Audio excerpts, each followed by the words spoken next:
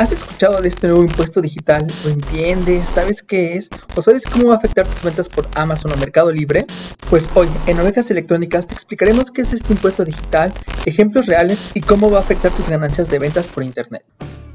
Si estás tratando de iniciar un negocio, ya sea vender la artesanía que creaste, esa salsa que te queda muy rica, o incluso vender algo usado que ya no usas, el primero o segundo canal de venta que vas a buscar va a ser el Internet. Y la primera plataforma que todo el mundo te va a recomendar es Mercado Libre.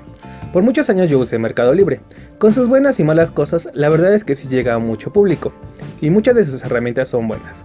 Como Mercado Pago, que te da confianza al vender un producto y que vas a recibir tu dinero.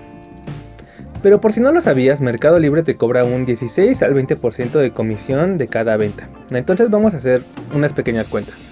Si yo vendo un producto que a mí me costó 50 pesos a 100 pesos, nos vamos a descontar 20 pesos de la comisión de Mercado Libre. Menos los 50 pesos del costo del producto, me está dejando 30 pesos de ganancia. Y sí, aún no estamos descontando gastos del internet o de la luz que deben de salir de nuestras cuentas, pero vamos a dejar eso por un lado por el momento. En nuestra cuenta vamos a tener 80 pesos, de los cuales 30 son ganancia. Ahora vamos a poner que vendimos 100 productos en un mes. Son 10 mil pesos. Menos 2 mil pesos que nos quita Mercado Libre, tendríamos 8 mil pesos. Menos el costo del producto, nos quedan 3 mil pesos de ganancia, pues que no está nada mal como un ingreso extra. Mercado Libre la verdad es que no requiere mucho tiempo y si tú lo dejabas como una pequeña actividad que puedes hacer en 20 minutos al día o en 40 minutos al día, queda bastante bien. Pero, el 1 de junio el SAT implementó el impuesto digital que viste que te afectó como en Netflix, tiendas virtuales como la de Nintendo, Amazon, etc.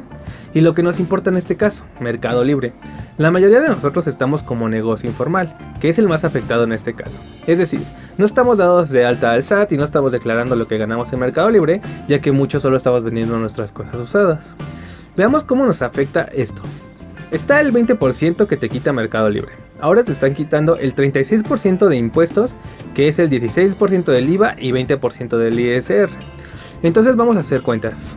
Si el producto me cuesta 50 pesos y lo vendo a 100, menos el 20% de la comisión, menos 36% de impuestos, se están quitando el 56% menos, el 50, menos los 50 pesos que te costaron, solo perdiste 6 pesos. No ganaste ni un peso y en realidad perdiste por vender algo. Bueno, ahora supongamos que para aliviar esto decides venderlo a 150 pesos. Lo cual primero es que vas a vender menos ya que está un poco más caro. Pero bueno, me van a quitar 30 pesos de comisión, 54 pesos de impuestos y 50 pesos del costo del producto. Solo ganamos 26 pesos. Y recuerda que antes ganábamos 30 pesos. Bueno, como dijimos, el producto está más caro, vamos a vender menos. En vez de vender 100 productos, vamos a vender solo 60 este mes. Pero, entonces de esos 60, ganamos 9 mil pesos. De esos 9 mil pesos, Mercado Libre me quita 1800 de comisión. Menos 3240 de impuestos, me están quitando 5040 pesos. Y de esos 9000 aparte le tenemos que restar 3000 pesos de lo que me costó el producto.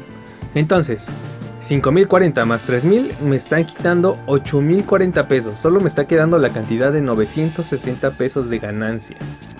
Recordemos muchos cómo usamos la plataforma de Mercado Libre. No sé, yo tengo algo usado como mi Nintendo 64, pues lo quiero vender, genero algo de dinero porque solo se está llenando de polvo. Lo voy a vender en 2000 pesos y pues este Mercado Libre va, me va a ayudar en eso. Yo lo vendía hace un mes en 2000, lo vendí y pues quitándome los 400 pesos de la comisión, me están, quitan, me están quedando 1600 pesos. No está mal, ok. Un poco cara la comisión, pero pues gané un buen dinero por en realidad vender algo que no usaba. Ahora, si yo vendo mi Nintendo 64 en 2000 pesos en este, con estas nuevas reglas, solo me voy a obtener 880 pesos, menos de la mitad del precio publicado.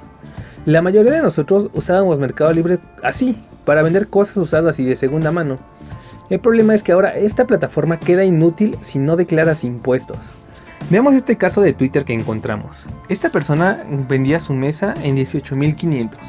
Si antes iba a ganar, ponle tú unos 15 mil pesos, ahora solo está ganando 9 mil pesos por una venta de 18 mil.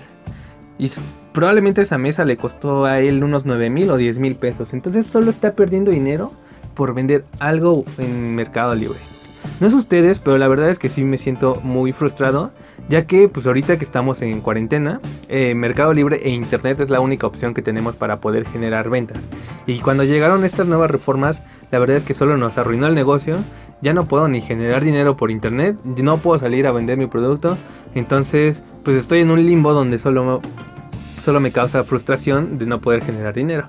Por favor, cuéntanos tu experiencia, cuéntanos lo que estás eh, pasando, lo que estás pensando, si ya vendiste un producto y decidiste cancelar la venta, cuéntanos tu experiencia y por favor comparte tu solución o alguna opción que tengas para poder seguir vendiendo por algún canal de internet para que todos podamos aprender contigo.